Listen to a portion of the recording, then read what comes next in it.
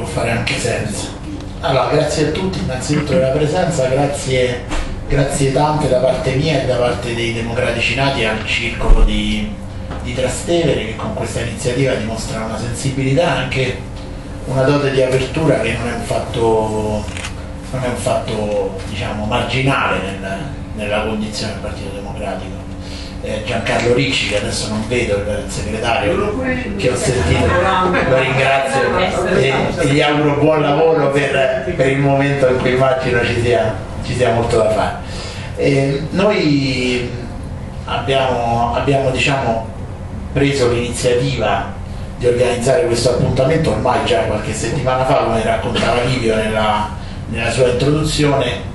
e, e l'abbiamo fatto un po', un po preoccupati sinceramente della, del silenzio che si avvertiva in un partito come quello di Roma, è un partito, è il partito di una città che è sede di grandi organizzazioni internazionali, un partito di una città che è centrale nello snodo della, della, dei rapporti internazionali, che, che, è una città molto spesso è stata un luogo di, di dialogo di pace. Eh, Sinceramente questa abitudine del Partito Democratico di Roma, perduta rispetto alle esperienze precedenti, di, di discutere appunto della, della condizione che, anche di situazioni che ci possono apparire lontane, ma che poi, come diceva, ricordava bene Ricciardelli, invece toccano l'esistenza di ciascuno di noi, secondo me va riformata, va, va ristabilita, dobbiamo recuperare questo senso della naturalità di un dibattito su questioni che, che, poi sono di fondo, no? che, ti, che, ti, danno l'idea di che modello eh, hai in testa di, di, relazioni sociali, di come pensi di, di, vivere la vita e in fondo è anche il motivo per cui tanti di noi hanno scelto di aderire a un partito politico per, per cercare per quanto possibile di incidere su processi che sono più grandi della nostra individualità. Posso chiederle di presentare? Io sono, eh, ci arrivo, io sono Andrea Sgrulletti, sono uno dei 20 ragazzi eh, di, del PD di Roma, della provincia di Roma, che hanno fondato un'esperienza associativa chiamata Democratici Nati e che si pone l'obiettivo diciamo, di, eh, di, organizzare all'interno del Partito Democratico di Roma, della provincia e speriamo anche oltre, non,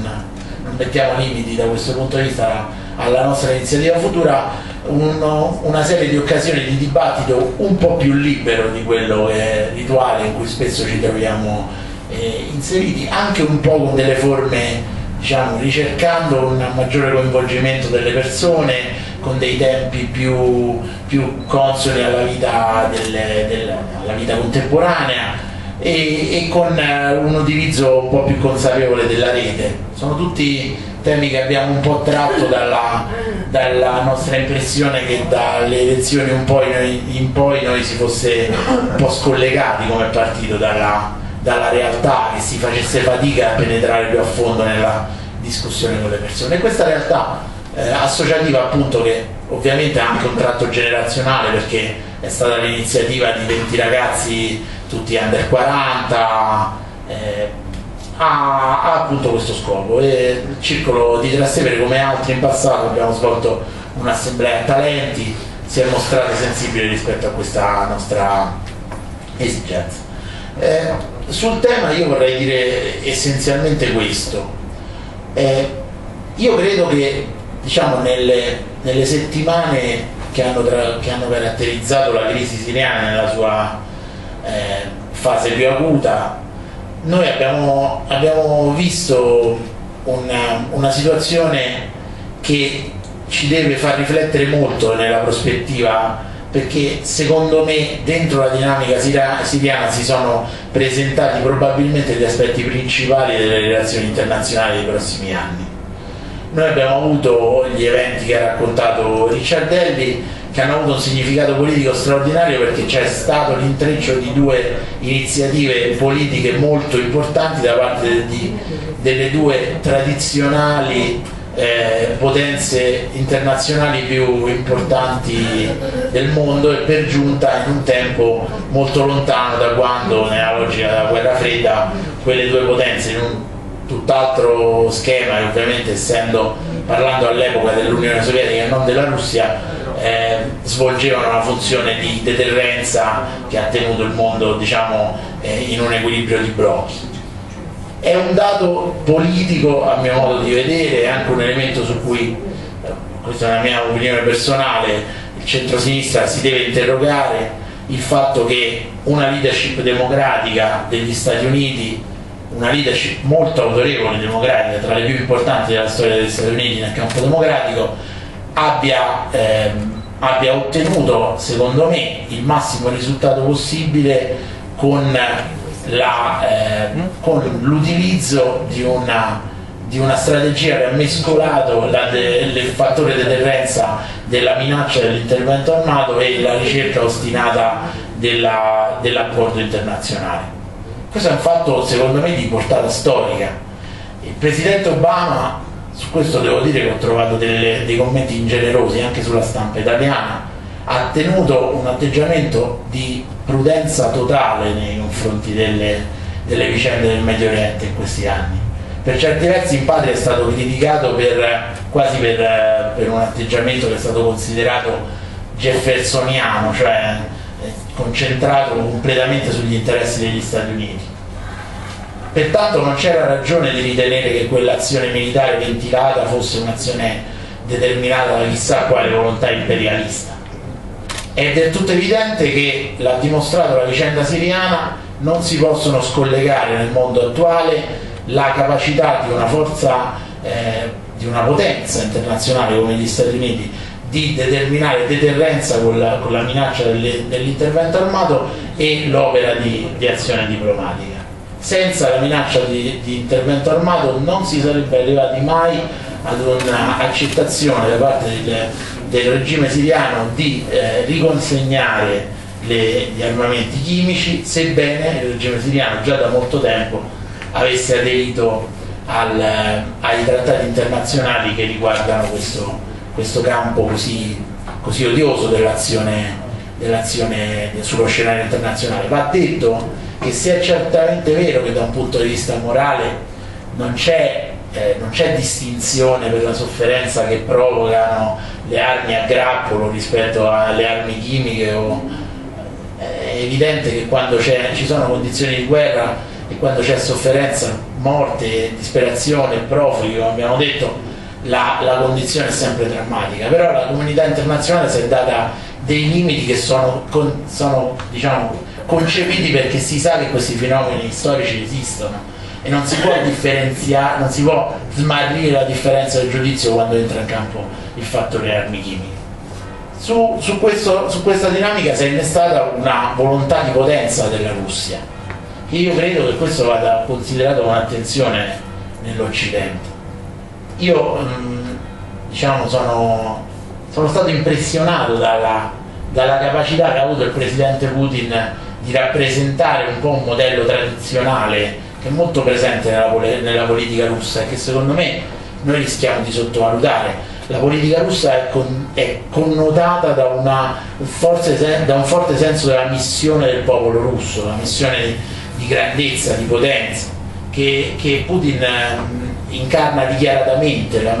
le, i maggiori diciamo, eh, ideologhi del, del, sistema Putin, i suoi maggiori e più importanti consiglieri lo descrivono come tale. Eh, si è determinato su questo, su questo snodo il rischio di un, di un, conflitto che andasse ben oltre la dinamica medio orientale e poi c'è stato quell'atto di, di, di, grande abilità, anche oggettivamente di grande abilità negoziale della Russia che è arrivata al punto massimo della, della, dell'aver tirato la corda, ha saputo diciamo, eh, a quel punto incassare il risultato politico e determinare lo, lo spostamento del, di posizione del regime siriano che diciamo, ne dipende in gran parte. Perché dicevo all'inizio, e chiudo su questo, questa vicenda centrale, perché dentro questa vicenda ci sono tutte le contraddizioni dello scenario internazionale. C'è la vicenda iraniana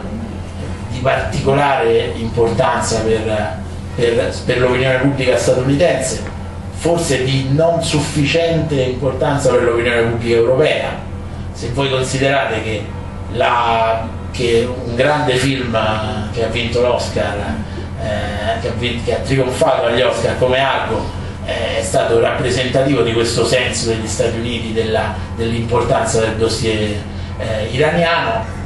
Onestamente il dibattito in, Europa è abbastanza marginale tuttora. È vero che si sono fatti passi avanti storici, il nuovo premier iraniano ha detto cose che sarebbero state impensabili in epoca di Ahmadinejad, ha riconosciuto la gravità del, dei crimini commessi a danni del, ai danni del popolo ebraico durante la fase eh, storica drammatica del, del nazismo, l'esistenza dell'olocausto, ci sono segnali di apertura e di moderazione nel regime iraniano che però non vanno assolutamente considerati acquisiti per sempre e anzi vanno considerati con, con cautela come, come sempre sullo scenario internazionale. Dentro a tutto ciò, e chiudo davvero, c'è il tema della sofferenza immane di una popolazione stremata da un, da un anno e mezzo di crisi violentissima e secondo me c'è anche un'ipocrisia da smascherare degli osservatori internazionali perché non è possibile che si accenda l'attenzione sulla Siria e che si eh, tirino fuori dalla naftalina le bandiere della pace quando il conflitto può riguardare delle, delle, degli stati europei o occidentali.